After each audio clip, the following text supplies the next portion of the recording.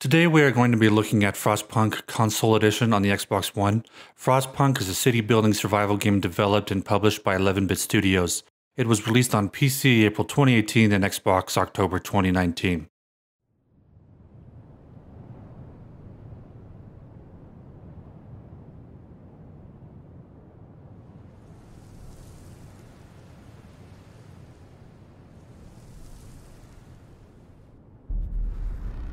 Console Edition does utilize the cloud storage for saved games.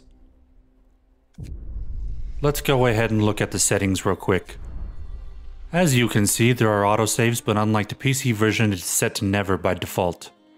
There is a controller tab that allows you to change the sensitivity and snap strength, and yes, there is vibration. There are several scenarios available, including the Fall of Winterhome DLC that you are able to unlock at day 20. Let's begin a new home. This is a new loading screen specifically for consoles. It roughly takes about 35 seconds for the game to load.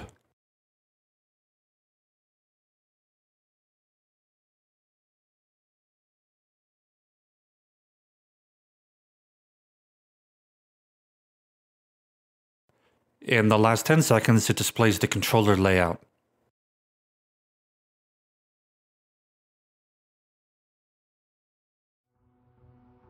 I think they did an excellent job with controller support, the controller shortcuts, and the radial menu. Everything can be done with relative speed and ease, and it's pretty straightforward, especially if you're familiar with the game already. Stripped pride and glory.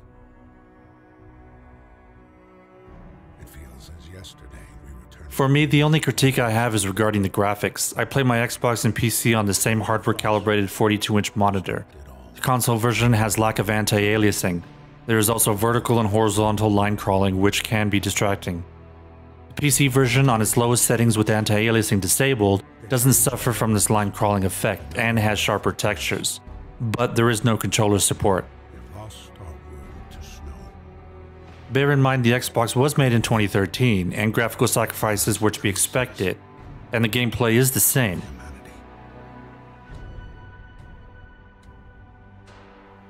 I really like how they did this introduction. For those of you that are unfamiliar with the story, it's set in an alternate 1886. Major volcanic eruptions and the dimming of the sun has caused a volcanic winter. Remained, in response, several installations called generators were built by British authorities in the coal-rich north, designed to be city centers in the event that dropping temperatures forced mass migration from the south. In the main scenario, you lead a group of explorers who fled the cold and the hunger of London and in an expedition to find supposed massive coal reserves in the north. Instead, the group gets separated from the main party and discovers a massive heat generator in a giant sheltered crater. You'll begin to face the issue of dwindling hope as the people find out through exploration a similar neighboring city is destroyed. You will have to make hard decisions in order for the people to find purpose and stay hopeful. You will also have to ensure there's enough supplies to make sure the city survives.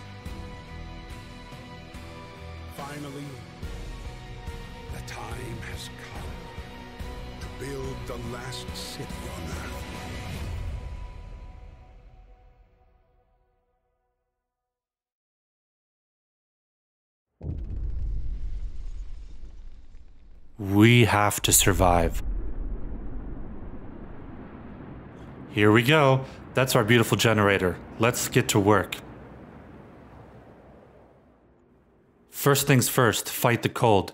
We need to get the generator working by stockpiling the surrounding coal. We just hover over a resource like these wood crates and press A on the controller to bring up the menu. Then we press right D-pad to assign workers. The controller is also able to utilize certain shortcuts not found in the PC version.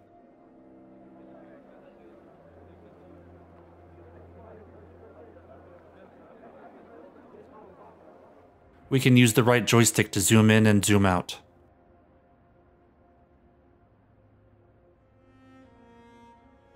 Let's assign some workers to gather that coal.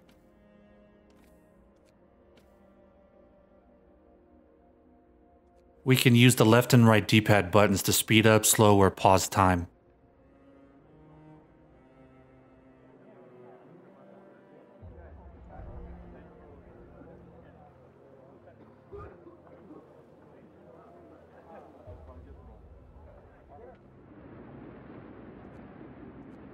Here we can access the generator menu and turn it on and off with left and right D-pad.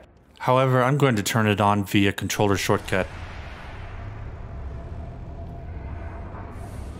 Our next task will be to provide raw food and build a cookhouse to prepare meals. In the PC version, you click individual buttons to bring up their corresponding menu.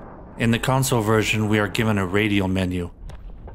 The Book of Laws provides the basis of rules and direction for the new city. The choice of laws chosen and disregarded will have significant effects on the population reflected in hope and discontent. Let's go ahead and require children be put to work. Sometimes the ends justify the means, right? Now they want me to build homes as well? These people certainly require a lot of attention, don't they? Let's provide shelter for everyone in two days.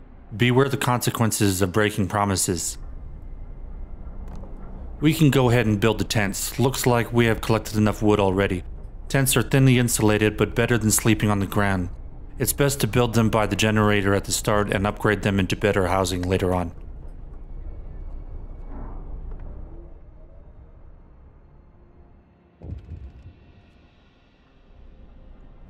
Wisdom of the crowd. People usually look for the quickest solution, not the best one. I can certainly believe it.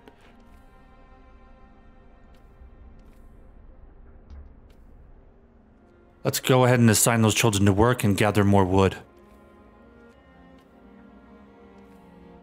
To feed the city, we have to fall back on an ancient practice and commission our workers to go out into the frozen wastes and hunt and gather whatever wildlife they can find. That's where constructing the hunter's hut comes in. Food is the fuel that keeps both your people and the economy going, and without it, they become weak, sick, and eventually starve to death. The problem is that with such a scarcity of resources, we cannot afford to give people coal or wood to cook their own food, but we can't let them eat raw food either because eating uncooked food is an easy way of getting sick in these frigid conditions. To solve this problem, we construct cookhouses.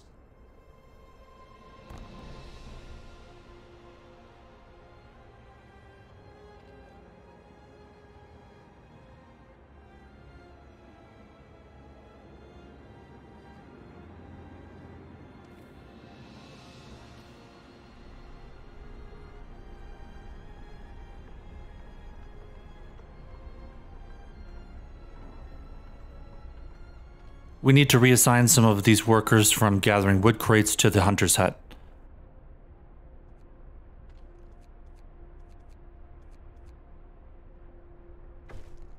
Shelter promise fulfilled. Hope rises. The game will be lost if hope falls too low and remains at that level for too long. Hope is affected by laws and to a lesser degree buildings. This is the economy screen where you can get details about consumption status and how many workforce are assigned to available buildings. The categories have been moved to the top instead of the left side and you can cycle with LB and RB.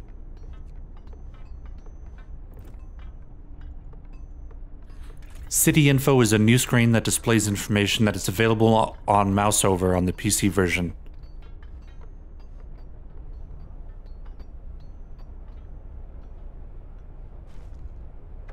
People from our convoy. We have completed that set of tasks. Now we have to build a workshop for research, a beacon to create scouts, and then rescue the survivors.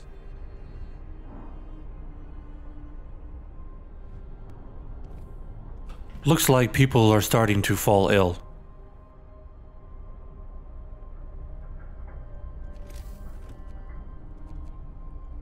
I don't appear to have enough wood to build an infirmary just yet.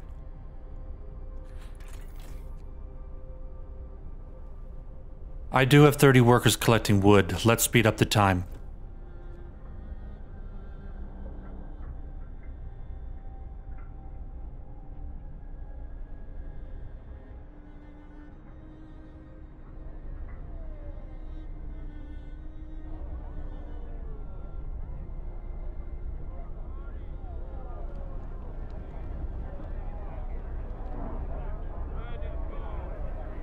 Not sure why the time went back to normal speed. Shift change, maybe? Normally it will return to normal time to make sure you don't miss anything important. I have collected enough steel, so let's build our workshop. Building the workshop results in the ability to research improvements and new buildings.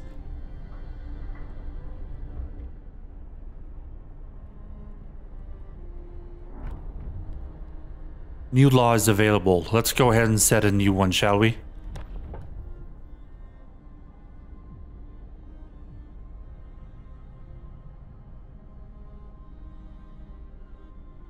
Cemetery will establish a burial ground so we can lay our dead to rest with dignity and respect. When selecting a new law related to buildings, you will be tasked with constructing them relatively quickly.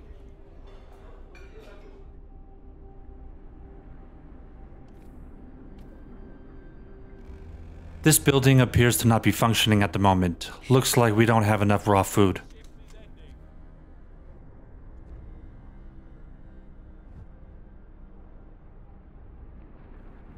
Our workshop is completed. Let's assign some engineers. We don't appear to have any available at the moment. The technology tree details all of the current items that can be researched. Let's find where the engineers are currently being assigned. In the PC version, the workforce is displayed on the lower right, while on the console it has been moved to the upper right and accessible by pressing X.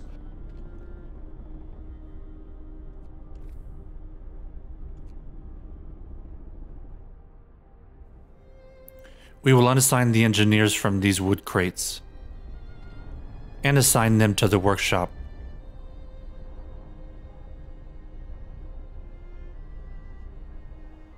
Let's assign the remaining unemployed to these wood crates using the controller shortcuts.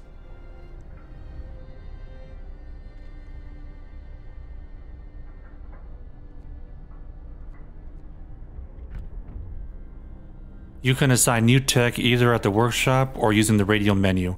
The categories can be switched with RB and LB. Our task is to research beacons.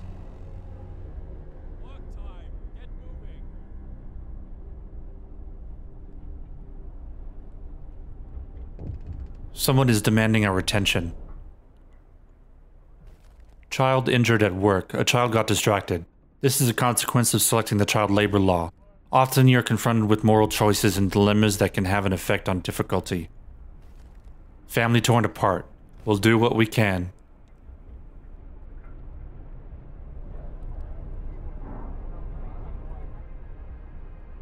That's right, we still have to fix raw food. We need to build an additional hunter's hut and assign workers. The hunter's hut requires roads, so we're going to have to build roads. This is where I tend to notice controller sensitivity. You can change it if you desire in the options menu. Roads serve several purposes, travel and transport of resources, and second, pipes and electrical cables which provide heat and power to any of the buildings further away from the generator. Beacon has been researched. Now we have to build the beacon. It looks like I haven't gathered enough steel.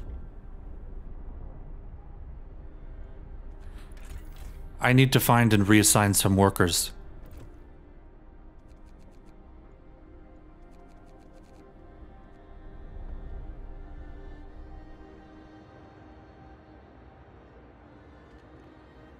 Then let's assign them to the steel wreckage using the controller shortcut. Go ahead and increase the time.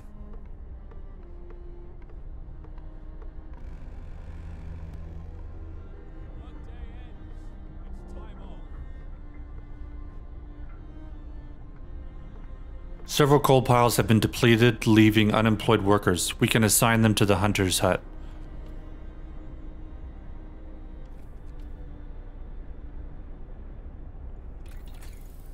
Now we just need to select our next research. Faster gathering is a great early game research to have. 15% bonus to civilian gathering. I just realized I forgot about gathering posts. Oh well. I should build that cemetery. Half the time has already been expired.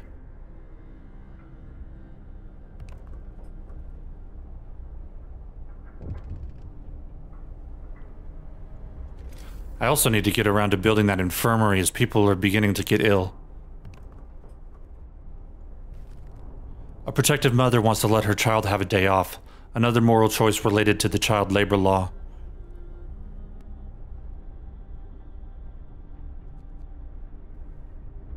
Yeah, it looks like at 5 a.m. time returns to normal speed. By pressing the select button, we can visually see building heat distribution. The lower the heat, the increase in illness risk, and at a relatively quick point, buildings such as infirmaries will cease to function.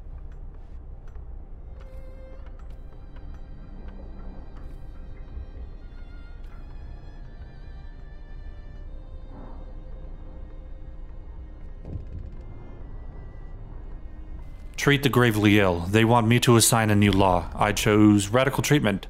Infirmaries can treat the gravely ill, and 30% will be left as amputees unable to work for the foreseeable future.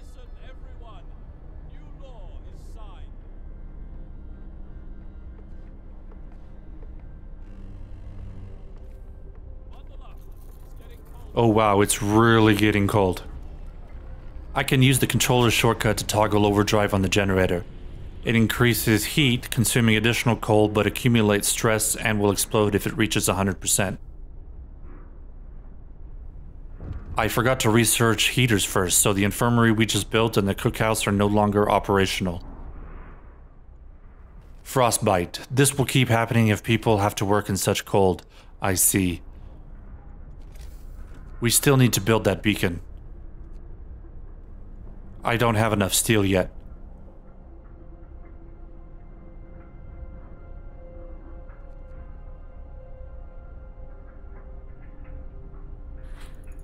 Faster gathering research has been completed. Let's research heaters. Heaters gives us a toggle and allows us to raise heat of non-residential buildings by one by consuming one coal every hour. Heaters are particularly valuable to early game infirmaries and cookhouses.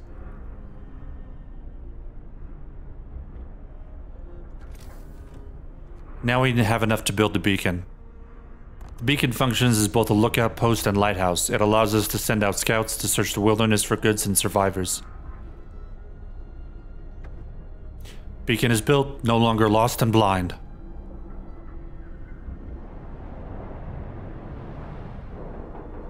Nice little cutscene.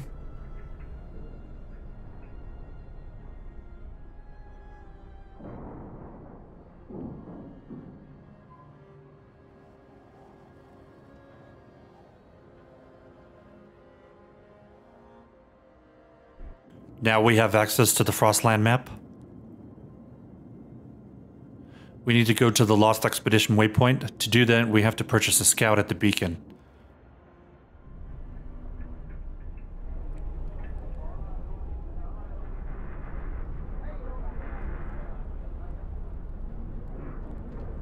Let's create a scout and then assign it to the Lost Expedition. And away we go. Ready to search.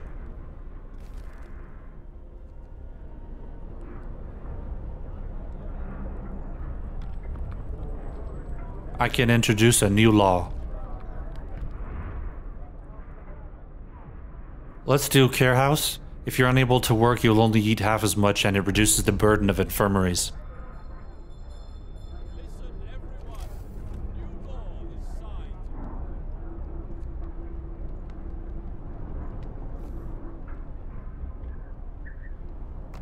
Okay, care house is underway. Let's build the street. As you can see, a lot of people are getting ill. Normally, you would build an infirmary for every five patients.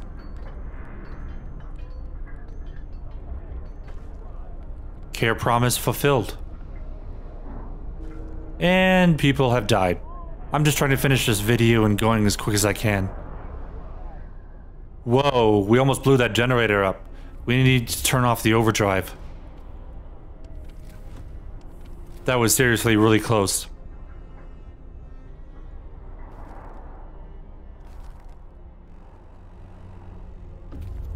Scouts have reached their destination.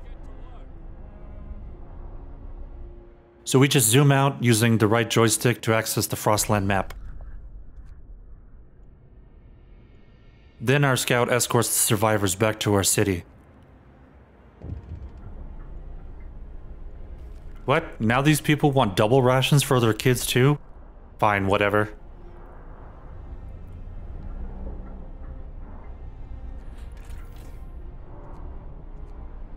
We aren't even making any food rations because heaters isn't researched yet.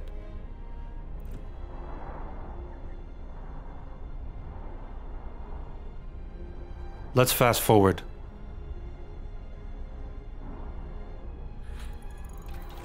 Heaters researched. Awesome.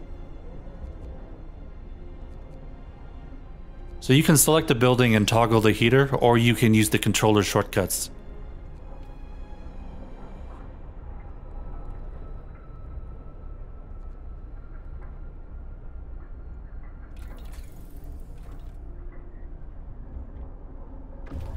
And the scouts have returned with the slave workers. We are presented with a cutscene.